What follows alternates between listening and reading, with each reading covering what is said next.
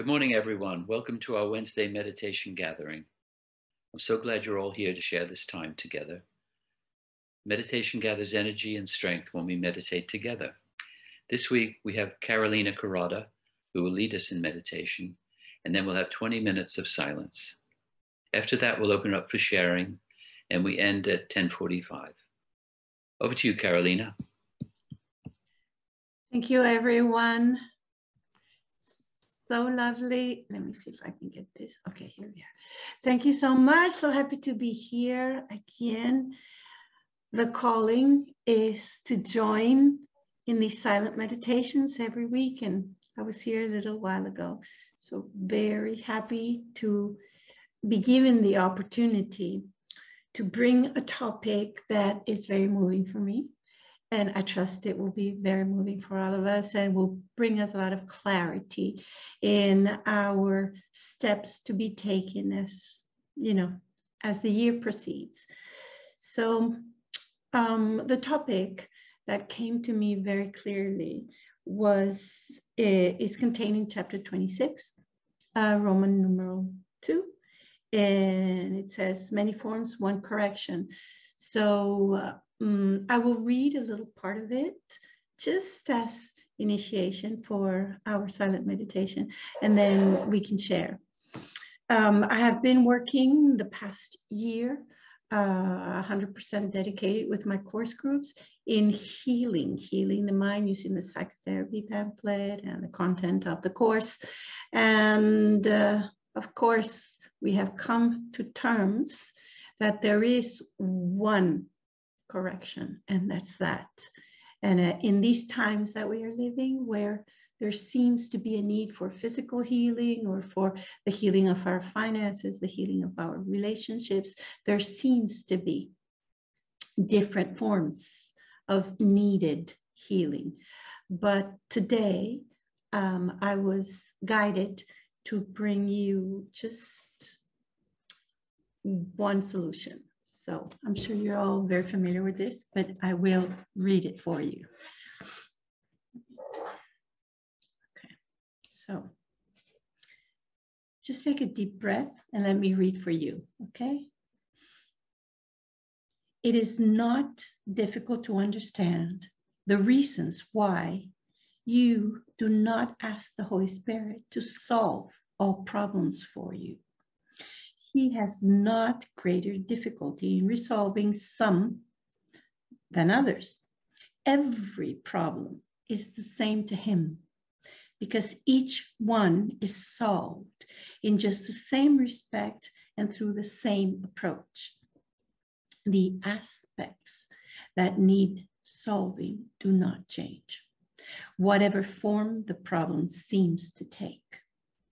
A problem can appear in many forms, and it will do so while the problem lasts.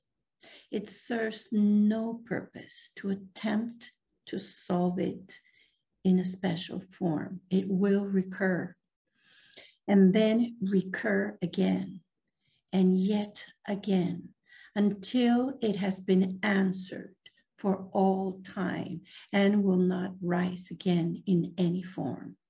And only then are you released from it. So, just to ignite our silent meditation, please join me in a short prayer for the opening of the mind, the opening of the heart, and even the opening of the human experience to true problem solving. So I come to you, Holy Spirit, as part of my brotherhood with the intention and the purpose to open myself to recognizing where and when the problems are solved. I am humbled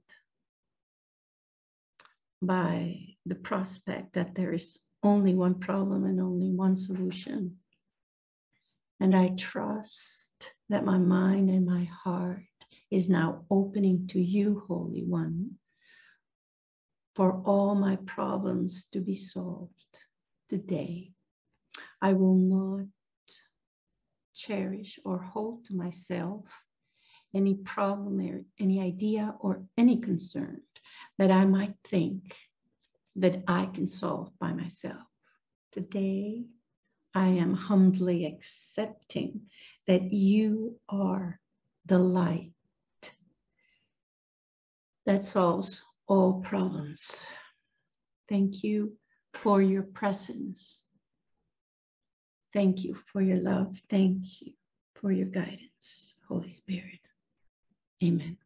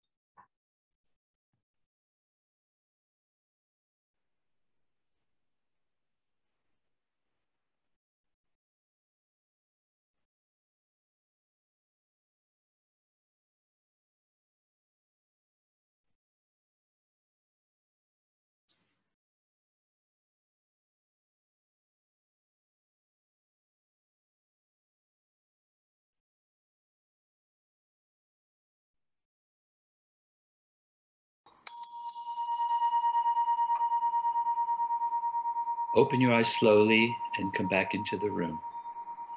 We have approximately 20 minutes left for sharing your reflections and your questions.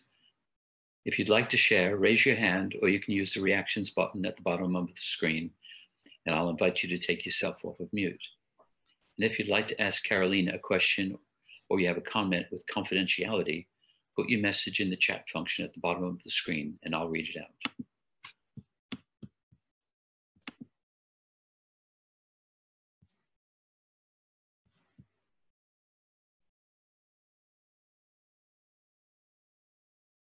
Would like to share? There's a message on the. Let me read it. I'll, I'll read it. So it says, um, I will have to drop from the call soon, but need to ask Carolina this question. I am dedicated to following the workbook, studying the course, and want to check if what I am experiencing is okay or not. Having a sense of release from ego thinking and seeing that everything of the ego world is meaningless, but not feeling anything, brackets, the love, joy, peace, close brackets, most of the time, but, uh, but sometimes, such as when I read the text, um, is this normal for course students or am I going down a wrong, irrespective route?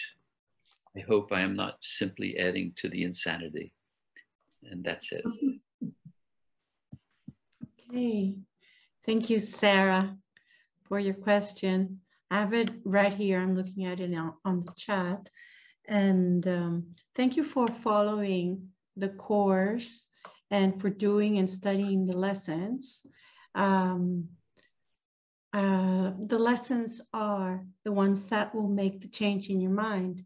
Now, as um, the course tells us, and this precisely in the psychotherapy pamphlet, it says that we must not give a specific form to the healing of our mind. So, in my experience with the course, and it's been 30 years now since I started studying, I've seen wonderful, beautiful healing and, and mystical experiences that are different in many of us, and, and then at the same time, they are the same. What um, I do believe, and in my practice as a student, as a teacher, is that I'm here to forgive myself, allowing the Holy Spirit to bring the light into my mind, allowing the Holy Spirit to um, work through me without me being in the way. And the way that healing or that forgiveness takes form I should not expect a specific form. So, as you say, um, the Course also um, speaks about judgment and says that the only true uh, use of judgment is to use it to know how you are doing by the way you feel. To use judgment to check out your feelings. This is also from the psychotherapy pamphlet. You use it to check to see how do I feel, and then judgment is used. How do I feel about this? We all have had in our time an idea of how uh, the mystical experience should be. And um, what I've come to terms with is that we do have a highly individualized plan, and each one of us will be guided, will be healed. Forgiveness will happen through us and thanks to the Holy Spirit, but it will never replicate itself exactly in each one of us, even though the end result will be the same. Now, you asked me if this neutrality and then this joy coming up is right or wrong.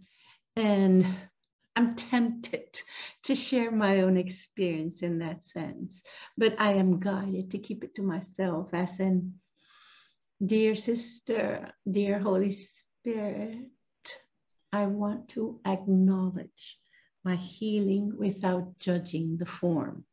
This is what I can say to you today. This is the way I experience it. And, and this is the way that I'm feeling it now because I've been with the course for so long and there has been different stages.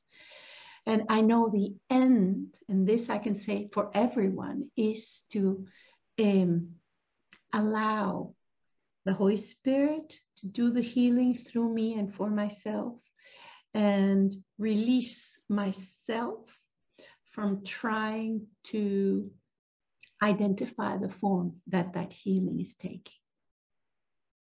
I hope that helps.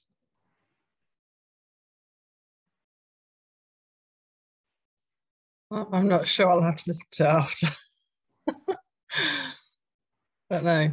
I just don't seem to even be enjoying anything that I used to, hardly. Well, I have, you know, um, Sarah, and if I'm allowed, you know, uh, to just extend a little bit on that. I remember back when I was living in Venezuela, I know if you guys know that I'm a Venezuelan teacher. I was born in Venezuela, originally living there, and I've been in Europe for the past maybe 15 years. So I remember my first student, the first ever student that I had. And we started, we were working together for a long while. And then one day she said, does this mean that I have to be thinking about God all the time? And I said, yes. And she said, no, hey, I want a life. But then she carried on doing the lessons and, and, and studying together and whatnot. And then one day she said to me, you know, I went to my favorite restaurant, which I used to derive so much pleasure from it, from attending it, from going there and eating there. And I was surprised how neutral I felt and I wasn't into the pleasure of the restaurant per se. So I thought, oh my goodness, what is happening to me? And then um, it was interesting because there was a class that came from that comment because the pleasures that. Um, I need a bit of paper. Pardon? Oh, uh, sorry about that. Uh, the pleasures are related to the senses. Yes? to the smell, to the hearing, to the taste, to the touch, that is not of the self. That is of the ego body, the, the, the home of the ego, which we could say is this construct. So as you begin to surrender yourself to the Holy Spirit, there is a generality that extends that is addressed in the lessons where it, sell, where it says that um, right now I can, I, mm, what comes to mind is chapter 15 at the end of it. At the end of chapter 15, it says, allow this year to be different by allowing to see everything the same. So if everything is the same, it means you're pulling away from the pleasures of the senses. And I find this the root to calmness and silence. This is how I experience it. I know that helps, Sarah. Absolutely, that's answered. Thank you. Thank you. Thank you. Would like to share.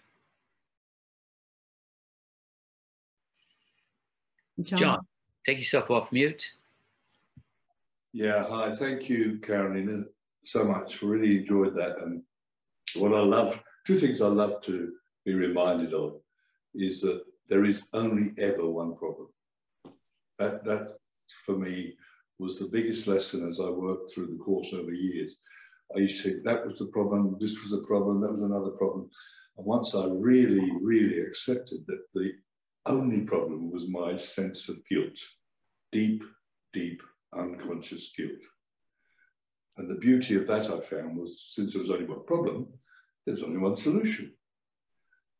And that's when I realized that I had to work totally on, on my own innocence and forgiveness of everything that I came in contact with, them, including myself.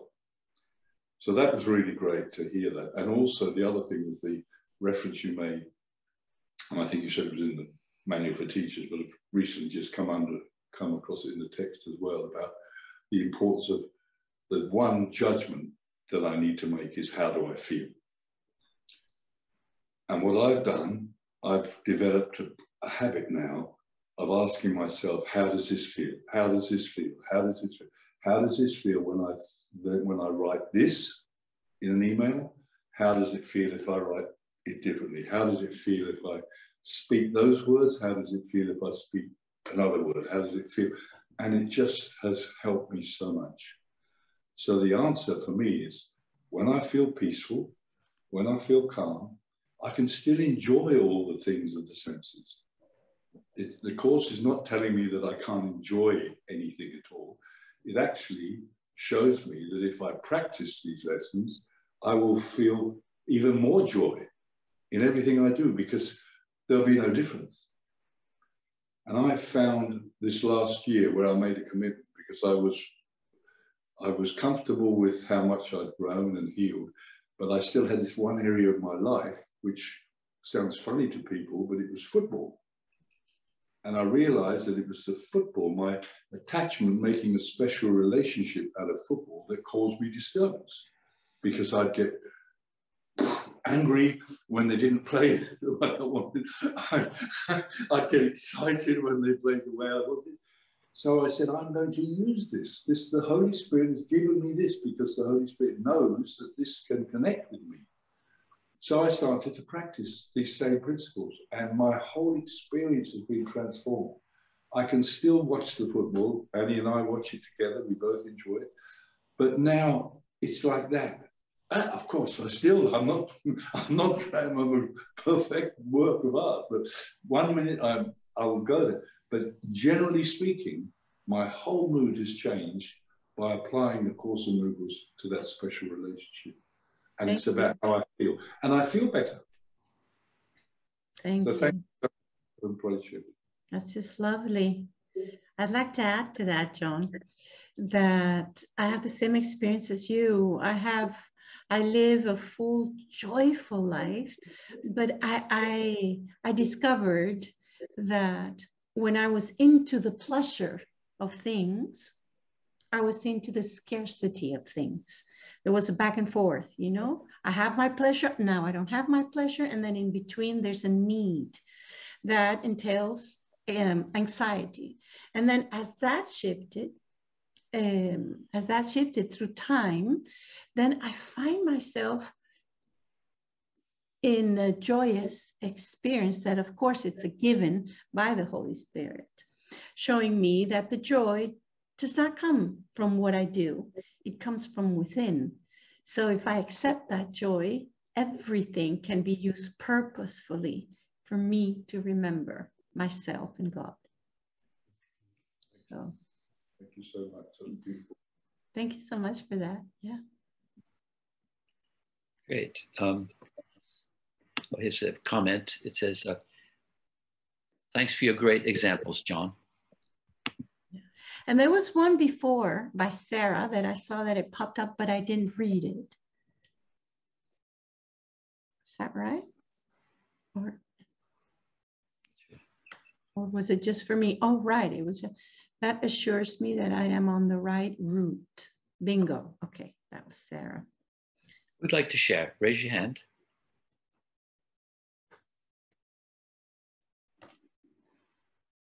I just wanted to come in and say um, I love that reading you you read this morning, and uh, it was it really touched me. I I'm sure I read it. Before. I know I read it before, but I can't remember it. And uh, one thing that stood out for me was um, when it said something about problems will keep on recurring and recurring mm-hmm.